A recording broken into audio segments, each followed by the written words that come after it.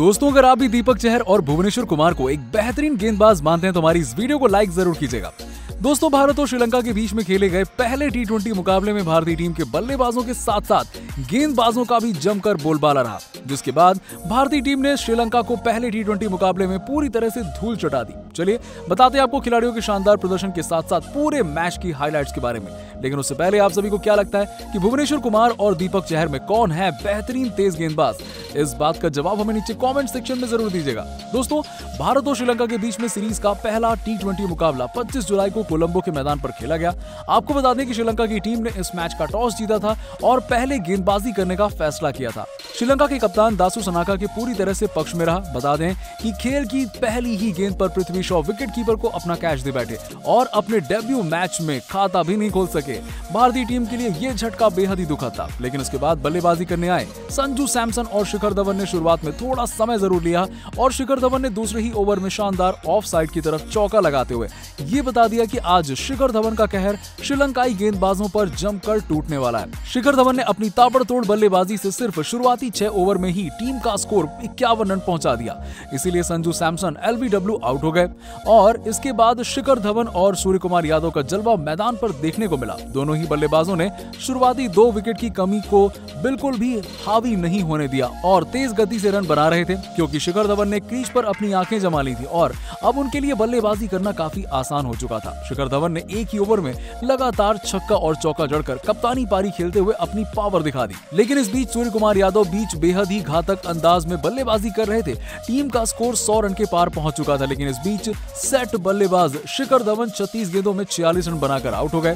भारतीय टीम को तीसरा झटका 113 रन के स्कोर पर लगा और इसके बाद सूर्य कुमार यादव ने अच्छी बल्लेबाजी करते हुए अपना अर्धशतक भी छक्के के साथ पूरा किया। लेकिन इस टीम के लिए बेहद दुखद बात यह रही कि सूर्य कुमार यादव अगली ही गेंद पर लॉन्ग ऑन के फील्डर के हाथों में अपना कैच थमा बैठे।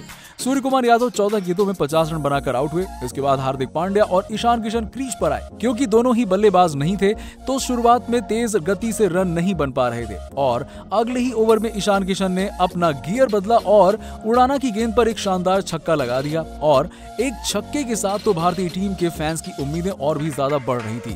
क्योंकि लगातार दो जल्दी विकेट गिर जाने के बाद टीम का स्कोर काफ़ी हद तक कम होता दिखाई दे रहा था। इस बीच 19वें ओवर में टीम को एक और बड़ा झटका लग गया। हार्दिक पांड्या सिर्फ़ 12 गेंदों में 10 रन बनाकर विकेट कीपर को अपना कैच दे बैठे। उसके बाद ईशान किशन ने अंत में तेज बल्लेबाजी करने की कोशिश की, जो कि 14 गेंदों में 20 रन बनाकर क्रीज पर नाबाद रहे। जबकि कुणाल पांड्या ने भी नाबाद तीन रन बनाए और भारतीय टीम तीन ओवर में एक रनों का सम्मानजनक स्कोर बनाने में कामयाब रही। बता दें कि लक्ष्य का पीछा करने उतरी श्रीलंका की टीम को पहला झटका तो भारतीय ऑलराउंडर कुणाल पांड्या ने ही दिया। श्रीलंका का पहला विकेट मिनोड भानुका के तौर पर गिरा। उन्होंने 10 रन पर कुणाल पांड्या ने सूर्य कुमार यादव के हाथों कैच आउट करवा दिया। इसके बाद श्रीलंकाई बल्लेबाज टीम की स्थिति को संभालने की कोशिश कर रहे थे और लगभग जिस तरह से बल्लेबाजी हो रही थी, ऐसा लग रहा था कि अब भारतीय टीम को ज़रूरत है विकेट्स की। ऐसे में काम आई यजुवेन चहल की फिरकी यजवेन चहल ने श्रीलंका को दूसरा झटका दिया। उन्होंने धनंजय डिसिल्वा को नौ रन के स्कोर पर क्लीन बोल्ड कर दिया। लेकिन दोस्तों, इसके साथ ही भारतीय टीम के लिए खुशी की बात यह रही कि टीम के सबसे अनुभवी गेंदबाज भुवनेश्वर कुमार ने श्रीलंका को तीसरा झटका देकर मानो टीम की कमर ही तोड़ दी। भुवनेश्वर कुमार ने अविष्का को 26 रन पर विकेट के पीछे कैच आउट करवा दिया। ऐसे में फिर एक बार श्रीलंकाई बल्लेबाजों के बीच में एक साझेदारी हो गई। और ये साझेदारी भारतीय टीम के लिए काफ़ी ज़्यादा मुश्किलें खड़ी करती हुई नज़र आ रही थी। टीम के कप्तान शिखर धवन के माथे पर साफ़ परेशानी देखी जा सकती थी कि वो विकेट्स के लिए कितने परेशान हैं। ऐसे में काम आया हार्दिक पांड्या का अनुभव। आशेन भंडारा को हार्दिक पांड्या ने नौ रन पर क्लीन बोल्ड कर दिया। भारतीय टीम कुछ हद तक इस मुकाबले में वापसी करती हुई नज़र आ रही थी।